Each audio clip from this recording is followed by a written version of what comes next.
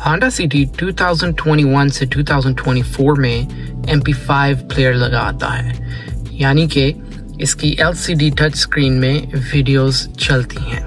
अब आप अगर देखिए तो मैंने SD कार्ड डाला हुआ है अपने ड्राइव में। मैं वॉल्यूम को म्यूट कर देता हूँ और आप देखेंगे कि वीडियो सॉन्ग्स चल रहे हैं।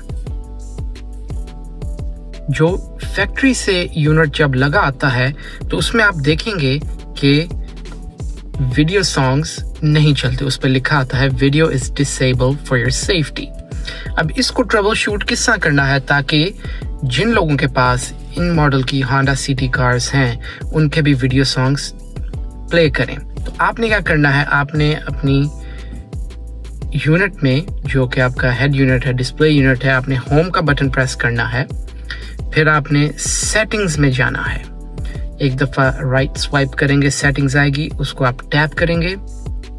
इधर आप देखेंगे ब्रेक डिटेक्शन का जो बटन है, वो ऑन है। आप इसको टैप करेंगे और ये ऑफ़ हो जाएगा। अब आप देखेंगे वो ग्रे हो चुका है। अब आप वापस होम बटन दबाएँगे लेफ़्ट स्वाइप करेंगे। अब डिपेंड करता है कि आपने एस कार्ड डाला है अपनी कार में या यूएसबी है। मैंने अपने यूनिट में एस कार्ड डाला, मैं उसको दोबारा प्ले करूँगा।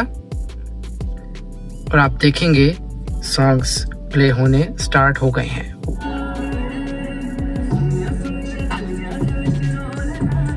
और इस तरह आप ट्रबल शूट करेंगे अपनी गाड़ी के नेविगेशन यूनिट को, अगर उसमें वीडियो सॉन्ग्स नहीं प्ले हो रहे।